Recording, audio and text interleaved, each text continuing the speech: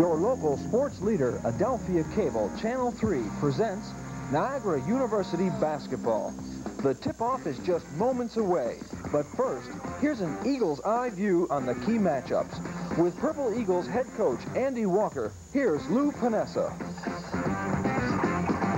The Niagara Purple Eagles continue their homestand tonight. The University of Vermont Catamounts in the Niagara Falls and Convention and Civic Center, a team Niagara has beaten for the last 12 meetings. But Coach Andy Walker, I know right now you're not taking anything for granted. You had 12 in a row from New Hampshire, and they come in here still an upset. Yes, uh, things seem to be turning on us right now, and uh, but nonetheless, we're still working hard and doing the things we have to do. I just think it's just one of those situations right now where we're a real deep lull, not a lull mentally, but just a situation where we just have we need one good win to get us going again. What's the players' attitude? Uh, I know it's you. You came out and played hard before. You had questioned sometimes the intensity, but they gave you a good effort, in New Hampshire. Oh, they sure did, and uh, it seems like everybody plays their toughest game against us this year. Maybe it's that we're losing, uh, leaving the league this year, and this is their last hurrah, and uh, maybe it's fitting, but I don't like to fit too tight, and uh, uh, we're going to be playing against Vermont, as you as you well know, and we plan to really go out there and beat them. Okay, now what about the healthier team? Mark Henry had a little bit of a knee injury in the uh, New Hampshire game. How will he be ready? Mark Henry's fine. Right now, he's a little, little touch of the virus, 24-hour uh, bug, or whatever you want to call it. And he's fine, though. He'll be fine. And, uh, of course, L.D. Moore's still out, but uh, Derek is doing a comparable job right now. So we just got to uh, put a few wins together. It's going to be tough because we have Vermont and then, as you well know, you know, Siena. But nonetheless, hey, only judge us when the last ball goes up. What about Calavita from Vermont? He was slowed by injury. He was out uh, last year when you faced Vermont. Uh, really coming back, maybe not the player he was, but is he improving as the year goes on? Do you worry about him? Well, I think he's uh, definitely improving because uh, they give him the ball more often. You can only improve when you get the ball early in the season. I don't think they were acclimated back to his uh, his uh, his uh, his posture being there again. so now they're getting him the ball. It's more than mid midway through the season, and he's playing a lot better. Uh, nonetheless, Calavita alone has never been able to beat us. Uh, we just have to try to neutralize those three-point shooters, along with playing tough defense and keeping them off the boards. Calavita, that is. Vermont had a very young team last year. Most of the players back again this year, but you touched on a point. They love to fire up the three-pointer. What will you do defensively? Well, we just have to play them a lot of man-to-man, -man, I feel. Uh, we can't let them, we can't sit back in a zone, regardless how good we might feel we're doing, but when they start shifting that ball from side to side, they got three guys who can launch them, and they can stick them, and this seems to be a very good shooting atmosphere for everybody who comes in here. Yeah, I was just mentioning that before about how the NAC teams are getting their last licks in, and really uh, they haven't had a problem. Uh, the convention center had been a good place for you. You only have well, one. you know, it's uh, you know 15 feet, 10 feet high. You know, same court, 94 feet. I mean, if you come in with the right mental attitude, it doesn't matter. It's not like uh, we're getting humongous crowds in here to really, you know, shock anyone right yet. But uh, we're going to get things rolling real soon. What about off uh, defensively? You were pressing a lot in New Hampshire. You said you may have run out of gas. Will you, will you, tend to keep that kind of tempo, that kind of pressure again? Well, I think we want to pressure at times, pick and choose. Uh, I think that's more important than just doing it all game, especially if it's not effective throughout the whole 40 minutes. But, uh, you know, this team is uh, not as good as our team. And it's simple to say that we have to go out there and play a man-to-man, -man, a lot more man-to-man -man this game, you'll see. The 6 and 10 record isn't the worst thing. It's not great by your standards or Niagara standards. I know you'd like to improve on it, but would you say the way things have been going lately might be uh, part of the toughest part of your coaching career? Right now it is, but it's not over yet. And uh, when the going gets tough, the tough get going. And I really feel that. And uh, we have 11 more games or so left, plus uh, a new season when the uh, when the tournament starts. So nothing's lost yet. And uh, you know, we'll be right there at the end. I really feel that way. I haven't given up. My spirit is still high. the kids are still practicing hard. So you know, when you're doing the things you're supposed to be doing, certain things certain happen. Certain things happen at certain times, but around the corner, some good things have to happen. So it's going to turn around sooner or later is what you're telling us. That's right. Okay, now I know you've been dying to do this for a while. You haven't had the opportunity because of travel plans. Give us your prediction tonight. A win. A W is a W. well, we'll see what happens. Mike Jankowski and I will be standing by courtside at the Convention and Civic Center for the tip-off of tonight's game right after this. They are our national treasures, timeless, priceless, riches that belong to us all. But we have another national treasure that we must not forget. It is our water, the lifeblood of our nation. It is the water we drink, the water for our farms and ranches, the water for our industries, now and for the future. Find out what you can do about conserving our water and improving its quality. We owe it to our children.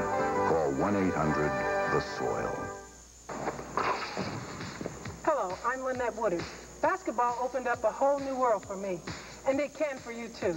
So if you have a chance to play, Don't just sit there. Jump at it.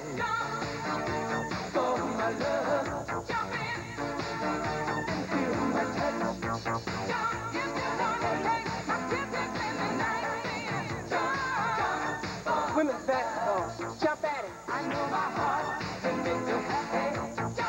From the Niagara Falls Convention and Civic Center, Adelphia Cable Communications Niagara presents Niagara University Men's Basketball, a Channel 3 sports exclusive.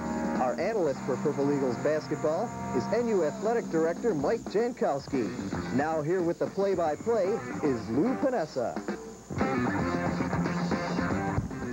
Well, good evening, everyone, and welcome to Niagara University basketball. Tonight, the Purple Eagles taking on Vermont and the Catamounts here at the Niagara Falls Convention and Civic Center, a game that, as head coach Andy Walker predicted, could be a win for Niagara University in what has been a strugglesome season.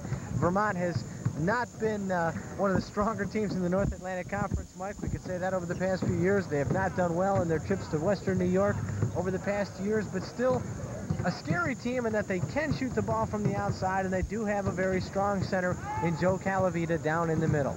A couple good guards, and uh, Kenny White, who's averaging 11.5 points, uh, as well as Bart Donovan, uh, 5.1 points. Uh, Joe Calavita missed most of last season with a fractured ankle. Uh, he was a preseason all-conference pick uh, last year, uh, currently averaging 17.6 points, 8.6 rebounds. So they're strong uh, at the guard positions, at the center positions. Uh, got a couple people averaging six points uh, each.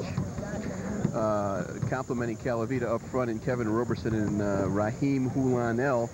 Uh, on the other hand, the negative statistic is that they're 3 and 11. Uh, they beat Middlebury, which is a Division two or Division three school, in their opener by 10. Uh, and their only wins after that have come at the expense of Colgate, 62 to 59 and 69 66. Uh, Niagara has won uh, 12 consecutive decisions over uh, the Catamounts and certainly looking to extend it to 13 and uh, trying to shake things up and get some momentum going here down the stretch. Taking a look at some of the notes for tonight's game, you mentioned that one of them, Niagara, has beaten uh, Vermont, and they lead the series 14 to 2. They have beaten Vermont the last 12 meetings.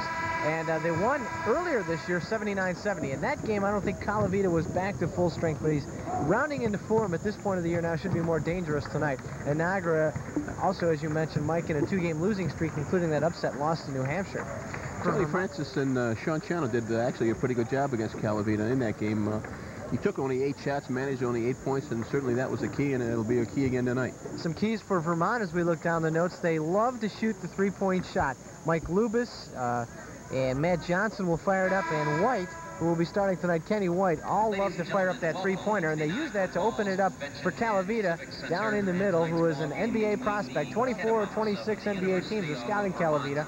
And uh, he's a big center and a big scorer, averaging more than 17 points a game. And that win against Colgate, they came down from 10 points at halftime to win at 69-66. It snapped a 14-game losing streak on the road for the Catamounts.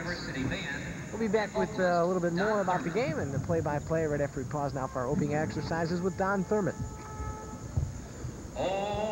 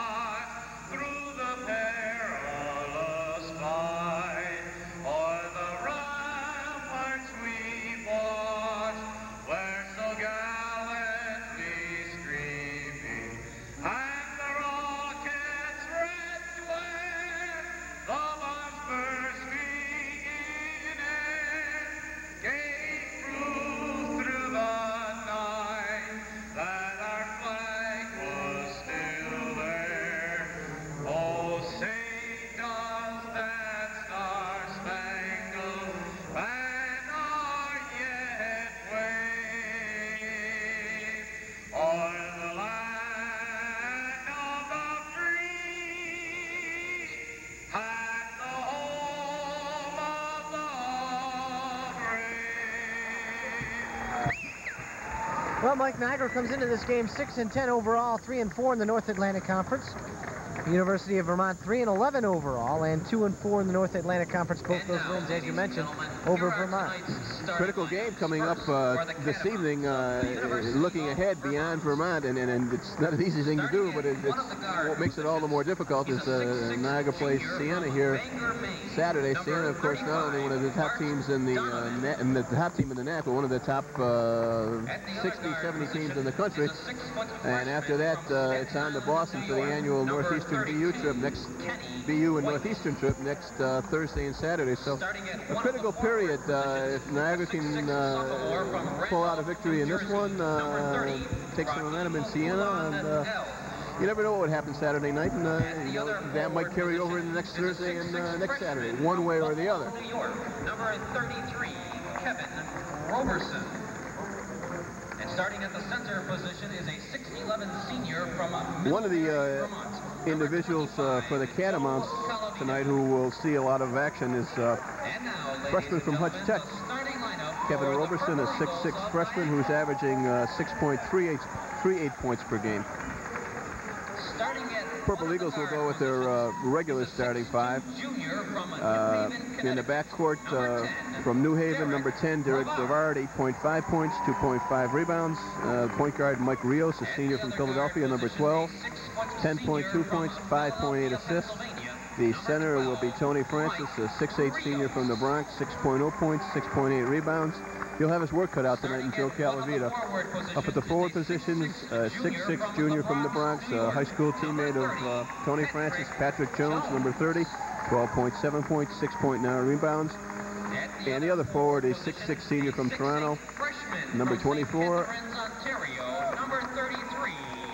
Mark Henry, who will not be starting today. A little Mark bit of a had, uh, surprise. Uh, Andy Walker mentioned earlier in the week that Mark had the flu and uh, evidently has not responded and doesn't feel strong enough to start him tonight. But Mark in uniform and may see some playing time, but is slowed down by a virus tonight. So I know that is a cause for concern. I mean, when you're looking at L.D. Moore out with that uh, hand operation and hand injury, and now Mark Henry not starting, you lose two very important cogs to this Niagara offense. In his stead, Brian Bleach, a 6'6 freshman from uh, St. Catharines, averaging 2.0 points uh, and 3.8 rebounds. The officials tonight, one of the best in the business from the Falls, Henry Nichols, Gene Manji, and Terry Stout. Henry Nichols gets to do 30 games a year. He visits one conference, uh, each conference one time, and this is the game he was assigned to in the North Atlantic Conference. A homecoming for him here. And here we go. We tip it off. The tap controlled by Vermont, and Kevin Roberson gets it and gives it off to the guard. That's number 32, Kenny White with the ball. Niagara comes out right away in a man-to-man defense.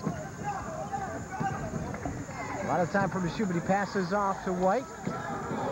White guarded by Rios. Pops the long one, way short, air ball. Pat Jones with the rebound, Niagara pushing it up quickly. That's Rios to Brevard in the corner. Brevard tries to drive, and the foul will be called on Kenny White. Foul is charged to number 32, Kenny White. Obviously, White's first. His first, Vermont's first team foul. I think this is one of the few times, Mike, we can say that Niagara actually should be the much quicker team out on the court tonight. Vermont very slow of foot. Derek Brevard looking to inbound, finally gets it into Brian Bleach. And Vermont will play a lot of junk defense tonight. They don't go a lot of man-to-man, but they don't play straight zones either. They'll play a matchup kind of zone, 3-2, and a lot of junk. Tom Brennan puts in a little intricacy. Pat Jones free in the lane. Shot goes in and out. Calavita with the rebound. Vermont up quickly. Working outside. There's Calavita inside, going one-on-one with Francis. His turnaround in and out. Tony's got the rebound. And Niagara up quickly again. Rios slows it down. Vermont quickly back on defense. So we basically, in two trips, have saw what Vermont plans to do all night long. Pop from way outside or get it inside to Calavita. Catamount shooting 43% from the floor as opposed to 44.9 for opponents. No room for Rios. It goes inside to Pat Jones. His fake turnaround bank, no good, too strong. Ball goes out of bounds, and it will be Vermont's ball. Vermont's ball.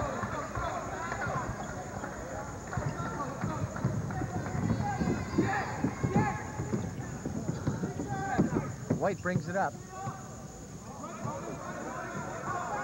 As the ball's Niagara switches to almost a matchup zone. They're going box with Tony Francis on Calavita. And a shot is good from the outside by Raheem Uland. A Sophomore 6'6 sophomore. Randolph, New Jersey. El off to a slow start this year for the Catamounts. He came out and was their leading scorer last year when Calavita went down in injury, but is averaging only six points a game this year, had an off year. Inside, Tony Francis. No good. And the rebound controlled by the Catamounts. Niagara looking to go inside in their first three possessions, but can't get the shot to fall. I'm sure they'd like to see Calavita get into foul trouble. They're going to go after him. Three-point attempt is nothing but net for Donovan. And Vermont leads at 5-0. Donovan from Bangor, Maine. You wonder how he got away from the uh, Black Bears. Brevard goes baseline, dishes off to Jones. His shot off the glass and in. Jones. You know, Mike, I missed the toilet paper. The NCAA outlawed it, but yeah, just added some.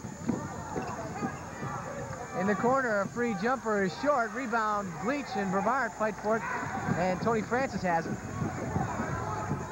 Rios brings it across. Well, technically, the NCAA didn't outlaw toilet paper. They just gave you a technical foul if you did it. Around the perimeter goes to Brevard. Rios. Inside to Francis. Oh, bounce the pass off the head of Brevard. Calavita picks up the loose ball, goes to the floor, and here come the Catamounts. Inside the key, Bleach on L. They come to this side with White. Calavita's free inside to go L. L working on Jones. The turnaround in and out for the foul. Jones is first, Niagara's first. Raheem oh, Huland charge. L, a Number 6'6 sophomore. A real lanky kind of guy. Niagara's first team foul. Number 33, Kevin Roberson on the line. Shooting two. We got a mistake out there. That's Kevin Roberson, 6'7", which makes which makes kind, of it a lean, kind of a lean kind of guy. Yeah. Because Huland L is a little bit stockier. Oh, he's uh, also a cross-country runner at uh, Hutch Tech. Calavita boxes out and the rebound comes back out to the Catamounts. Roberson with the loose ball.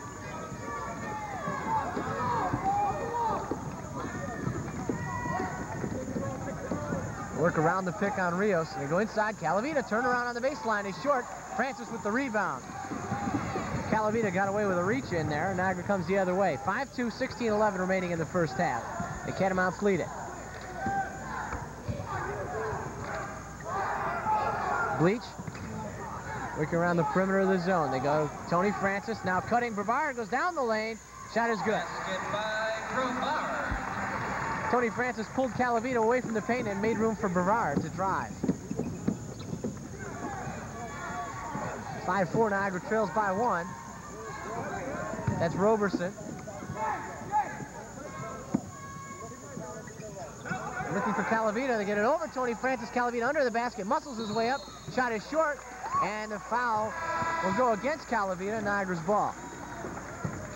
Fouls charged to number 25, Joe Calavita. Calavita's first, His first, Vermont second. Vermont's second team foul. We have an official's timeout.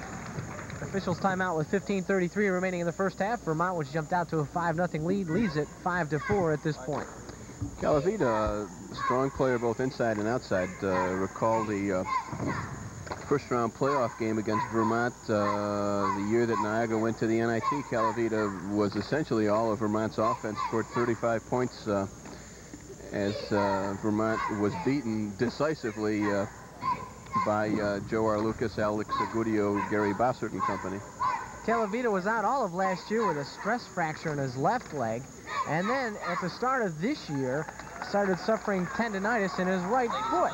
So he really never got off to a, Sticker on the a strong start this year, but is just starting to round into form, and he's been tearing it up lately. That means you can Uh, be competing tonight for the Calavita has been hitting over 70% in his last three games. That trip donated by Cataract Travel and uh, on Military was named the North Atlantic Co- to make Coke a shot Conference Player of the Week for the week sticker ending January 22nd. To. Got off to a bit of a slow start, but he's been uh, Vermont's leading scorer in uh, each of their last four games, 27 against Colgate uh, last Saturday.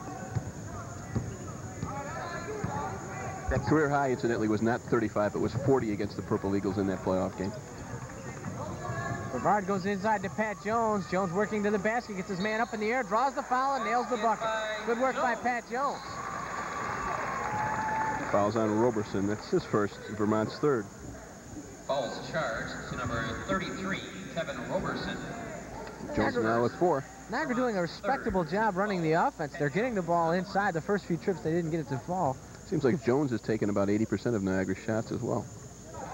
He makes the three-point play. Niagara leads by two, seven to five, and Niagara presses now in the full court. Calavita brings it across himself, now gives off to White. Niagara goes to a 1-3-1 zone. Donovan drives, his shot is good. Boy, they just let him get right up to the corner of the foul line and nail an easy jumper. And the game's tied 7 to 7. Donovan playing in the guard position at six six. as Henry about to come in. Bleach from the corner. Basket by Bleach. Freshman nails his first attempt.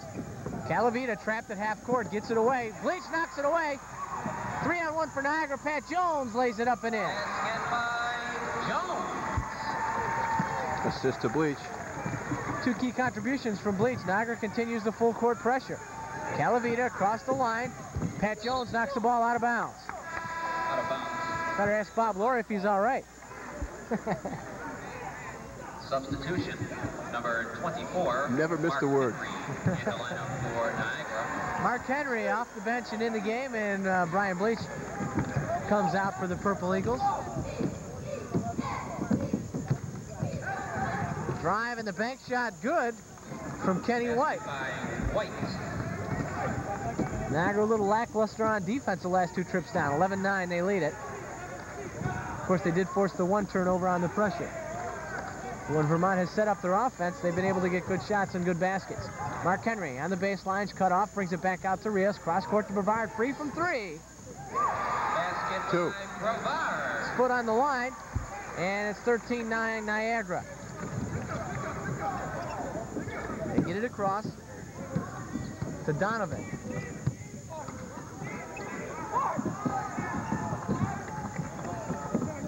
Calavita tripped up by L. And Rios out pressuring Kenny White. That's Calavita, guided by Tony Francis. Calavita starts to drive, pulls up, shot no good, rebound. Pat Jones, here comes Niagara on the break. Rios will have to slow it down. Derek Brevard, back to Rios. They go underneath to Jones. Baseline, forces it up and in. Another nice offensive move by Pat Jones. Now with nine. And continues to press, but Vermont breaks it easily this time. That's Donovan with the ball around Brevard, goes inside, the ball's knocked out. Donovan picks it up. And he hands off to White. Back to Donovan. Donovan drives around Jones, pulls up with a shot good. Basket by Donovan. Donovan with seven. Niagara in a good offensive flow, but defensively they've been lacking a little bit tonight. Vermont's getting very easy shots as well. The Purple Eagles lead at 15-11. Donovan averaging only 5.1 and only 37% from the floor. It's Tony Francis working on Calavita. Shot's way too strong. Right to Pat Jones. Basket by Jones. Jones having a field day inside.